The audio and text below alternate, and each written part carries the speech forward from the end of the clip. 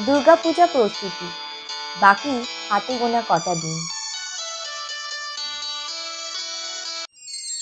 দুর্গাপূজার প্রস্তুতি যেমন শুরু হয় কুমোরপাড়ায়, তেমনই শুরু হয় প্রকৃতির রাজ্যে। প্রকৃতিও যেন সেজে ওঠে মায়ের আগমনের খুশিতে। টলটলে দিঘির জলে ভেসে ওঠে নীল আকাশের ছায়া, আর তারই সঙ্গে ফুটে ওঠে শালুক ও পদ্ম ফুল। শরৎ মানেই নীল আকাশে সাদা সাদা পেজা মেঘের ভেসে বেড়ানো। গঙ্গার ধারে ফুটে ওঠা রাশি রাশি কাশফুলের বৃষ্টিনন্দন শোভা।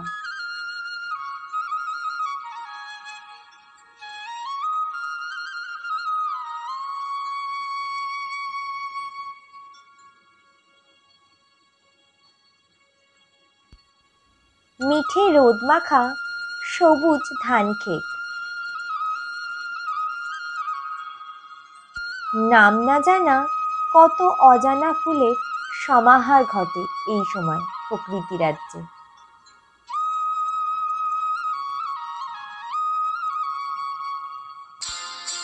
আর সেই সঙ্গেই গাছে গাছে ফুটে ওঠে শরতের শিউলি।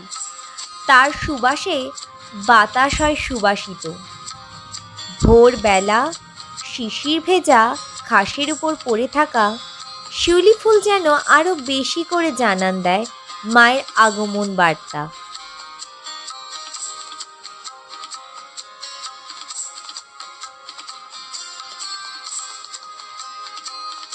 এই সময় কোমরপাড়াতেও ব্যস্ততা তুঙ্গে।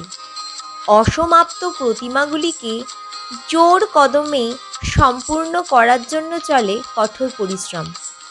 নানা ধরনের দুর্গা প্রতিমা প্রস্তুত করেন মৃৎশিল্পীরা। এখানে তারই কিছু ঝলক আপনাদের সামনে তুলে ধরার চেষ্টা করা হলো। এখানে যে কুমোর পাড়াটি আপনারা দেখছেন, সেটা পূর্ব বর্ধমানের পাটুলি গ্রামে অবস্থিত।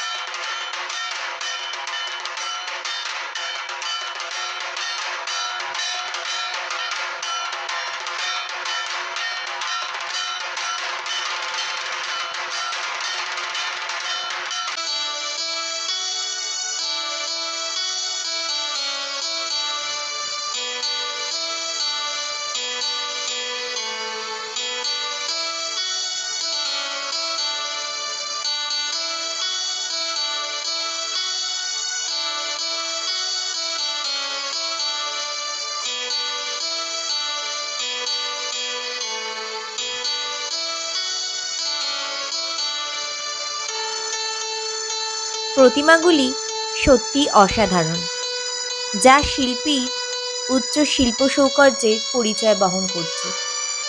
যদিও প্রতিমাগুলিতে এখনও কিছু কাজ বাকি আছে, কিন্তু নির্ধারিত সময়ের পূর্বে তা সম্পন্ন হয়ে যাবে। দিশা ক্রিয়েটিভ জবস এর পক্ষ থেকে আপনাদের সকলকে জানাই দুর্গাপূজার আগাম শুভেচ্ছা। ভিডিওটি ভালো লাগলে আমাদের চ্যানেলটিকে অবশ্যই সাবস্ক্রাইব করবেন। আর ভিডিওটিতে লাইক কমেন্ট করতে ভুলবেন না। ধন্যবাদ।